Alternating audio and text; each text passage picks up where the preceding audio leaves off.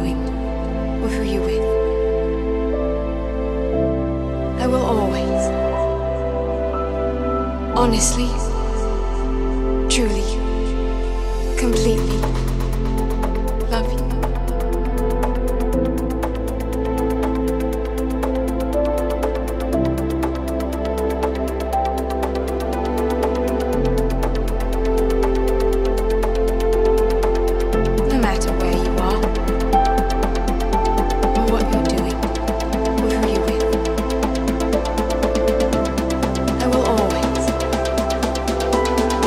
honestly, truly, completely.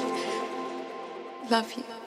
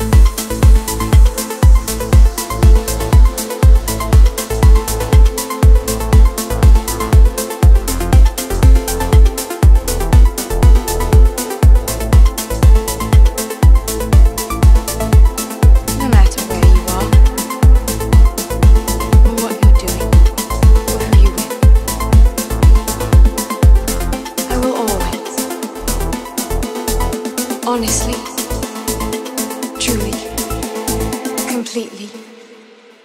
Love you.